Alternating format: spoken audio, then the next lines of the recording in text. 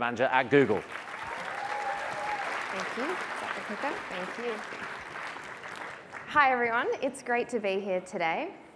Before I start, I'd like to acknowledge the traditional custodians of the land on which we meet today, the Gadigal people of the Eora Nation. I'd also like to acknowledge the Wurundjeri people of the Kulin Nation, traditional custodians where I live in Victoria. I pay my respects to them and their cultures, and to elders past and present. My name's Rebecca Holmes. I'm a Strategy and Insights Manager at Google. That means I spend my days looking at all different types of consumer data and extracting insights to help our clients achieve their business goals. I love my job because data is my jam. And I'm so excited to be here with you today to share some brand new research on multiculturalism in Australia. Our hope is that by sharing this broadly within the industry, we can all gain a better understanding of these key audiences and come up with some ideas of how we can grow and diversify now and into the future. But before I get into the content, I want to ask you a quick question, looking for a quick show of hands. So please raise your hand if you were born outside of Australia. Keep those hands up. Now raise your hand if you had at least one parent born outside of Australia. Oof. Everyone have a quick look around. That is a lot of hands. A majority of us here, or our immediate families, are from different countries, cultures, and backgrounds. And I'm sure we all have our own personal experiences with multiculturalism in Australia. But as I said before, I'm an insights manager. Data is my jam. So what does the data say? Well, according to the ABS, the Australian population has been changing over the last 10 years. The first thing to know is that there are more people arriving in Australia, record-breaking numbers, in fact.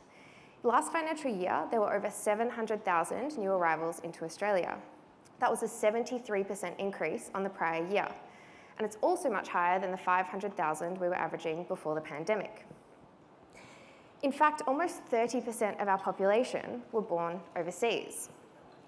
And it's not just that there's more people arriving in Australia, the countries of origins have changed as well. Since 2013, there's been a decrease in arrivals from the UK, and over that same time period, we've seen an increase in arrivals from countries like China, the Philippines, and India. And in the case of India, arrivals have tripled over the last decade. So who we are as a country is changing, and we're becoming more culturally and linguistically diverse. Now, I'm sure everyone in the room can relate to the need to continue to grow your business in light of challenging economic conditions, cost of living challenges, and declining linear TV reach. Well, if you're looking to grow your domestic audience base, those 700,000 new arrivals might be a good place to start. But to connect with these audiences, we need to do things a little bit differently. At Google, our clients have been asking us some questions about these audiences. How can we reach multicultural audiences more effectively? How can we communicate better with them? And how can we reach them where they're most engaged? Well, I hear questions like this and my eyes light up. We love a research challenge at Google, so we went looking for answers. And whilst there was some great insight out there, we couldn't really find anything to help us confidently answer these questions. So, took matters into our own hands and partnered with Kantar to undertake a brand new study on multiculturalism in Australia. Like I mentioned before, I'm so excited to be here with you today to share this for the first time publicly. We're about to learn a little bit more about these highly valuable audiences, their preferences, their needs, and how we can better communicate with them. So, let me tell you a little bit about what we did. We did a quantitative and qualitative study and looked at two key audiences. The first we called newcomers. These are new arrivals to Australia who have migrated within the last five years and they're in the early stages of settling in.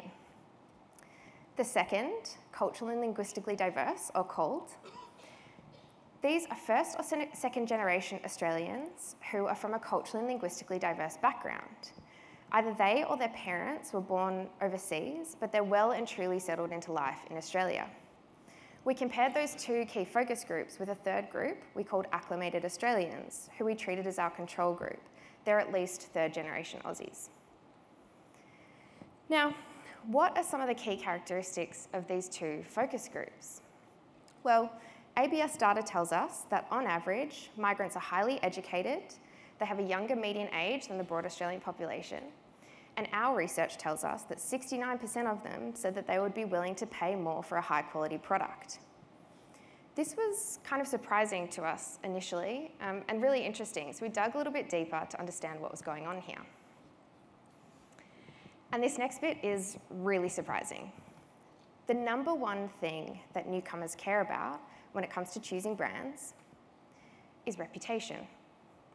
Now, I've been involved in many consumer studies over, over the years, and it's pretty much a given that price comes up as the number one thing people care about almost every single time you ask it.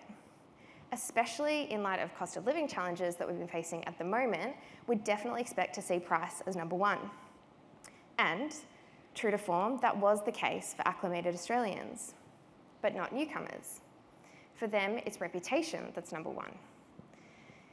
And at first, we were really surprised by this, but actually, when you think about it a little bit more, it makes perfect sense. Acclimated Aussies have an understanding of brand reputation that they've been building over the course of their lifetimes. We eat Tim Tams at Nan's, we, we swim in Speedos, and we soldier on with Codral. But if you're a newcomer, how are you supposed to know any of that? How are you supposed to know that Burger King is kind of the same thing as Hungry Jack's? Or that Woolies is a supermarket, not a department store? Or that it's the same place people mean when they say Woolies? how are you supposed to know that, um, sorry, if I asked, if I invited someone who just arrived to Australia to meet me at Bunnings for a snag on a Saturday arvo, they probably have, wouldn't have any idea what I meant. And I'm sure any Brits or Americans in the room can recall the shock they felt the first time an Aussie started casually talking about thongs in front of them. Newcomers are building new brand preferences from the ground up in a new country, and so they're leaning really heavily on reputation to help them make those brand decisions. So, as you'd expect, newcomers have a preference for brands they know and love from their home countries. But a lot of the time, those brands aren't available in Australia. So they're having to do a lot of research to figure out what to choose. They're trying things, testing them out, experimenting, and this is a really key time to get in front of them with some great content and a really strong brand proposition to influence them and make sure that you are the brand chosen. But building, building reputation is not an easy feat, and we know that video is a really key part of doing that. Video is the best medium to deliver complex messaging, and so it's the best place to get in front of these groups as they're making these tough decisions. So we've learned a little bit about what multicultural audiences care about. How about communicating them and reaching them a bit more effectively? Well, for publishers, it means that our content needs to be on point. Multicultural audiences have different preferences than acclimated Australians when it comes to what types of content they're looking for. And, as you'd expect, that often means content in their native language. One of my best friends is second generation Australian, her parents are from Vietnam. And despite living here for over 30 years, her mum still loves to watch Vietnamese content that she finds on YouTube. Recently, my friend was helping her mum set up a new phone, and the only thing that her mum wanted help with was to make sure the YouTube app was downloaded. Not her contacts, forget about syncing photos of her grandchildren, she only wanted access to her Vietnamese shows. But it's not just content in their native language that they're after multicultural audiences are open to content across a variety of languages. They might watch the news from home, followed by an American movie, followed by some anime in Japanese, like this newcomer from the Philippines. Subtitles can be a really big value add on content because it helps increase the accessibility of your content with this group. And it's a key way that video can be used to connect really well with this audience. In fact, when we asked newcomers what their preferred language to watch content in was, 21% of them told us that they actually didn't mind as long as there were subtitles available. That's twice the number of acclimated Australians. But this isn't just a thing that we've been seeing on YouTube. Last year, Netflix reported that 30% of their viewing was from non-English channels, English um, titles rather, and 45% of viewing of English titles, used subtitles, or dubbing. SBS now has content available in 95 languages, which is frankly incredible. and almost half a million people tune in to watch the multilingual news every month. So we've learnt a little bit about what types of content these groups are looking for, but how about where to reach them? Well, newcomers in particular lean really heavily on online and digital platforms, and video is a key part of that. And much like they prefer brands that they're familiar with from home, they prefer platforms that they're familiar with as well. For example, YouTube reaches 80% of adult internet users in India, and it has a similar reach amongst newcomers in Australia. Channels like YouTube, Facebook, TikTok, WhatsApp, even search are used consistently both before and after a newcomer arrives in Australia, and often even more after, as they're leaning on familiar channels to help them settle into life in Australia. Our research, research showed us that YouTube is rated highly amongst newcomers for having relevant and high quality content, indicating that there's a brand preference and reputation that's been built before their arrival in Australia. So high usage in countries of origin is relating to high usage here. What that means for those in the audiences is that when we think about these um, audiences, it's, there's more fragmentation than ever.